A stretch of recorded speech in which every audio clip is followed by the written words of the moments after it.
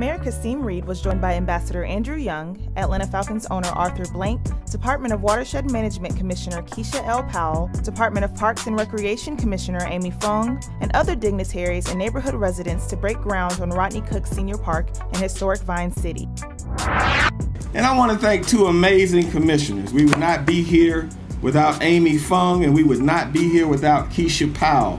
Between these two extraordinary women leaders, they have led investments in this park of more than $16 million. Please give them a round of applause. Way down deep, we all love you.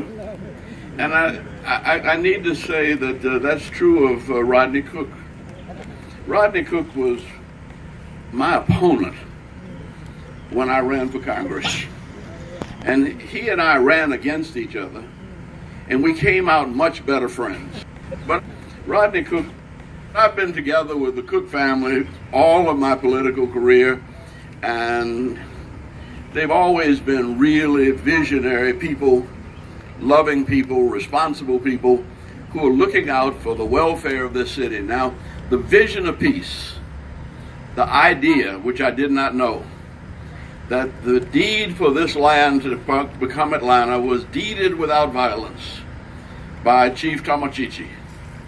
And that that occurred right about here.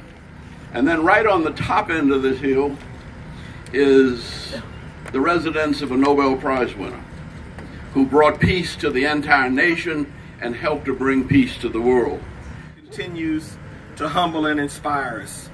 I want to thank Rodney Cook the son of this park's namesake and the president of the National Monuments Foundation, for his vision, for his passion, and for his stick-to-itiveness. This park, y'all can clap for that.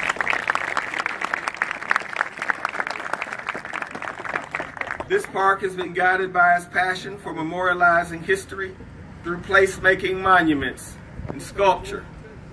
Its collection of statues that pay tribute to our civil rights leaders, will make it a singular experience for our residents and visitors alike.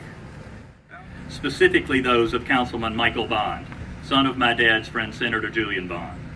Michael's grandfather, Horace Mann Bond, was the trustee for the $25 billion Barnes collection of art in Philadelphia.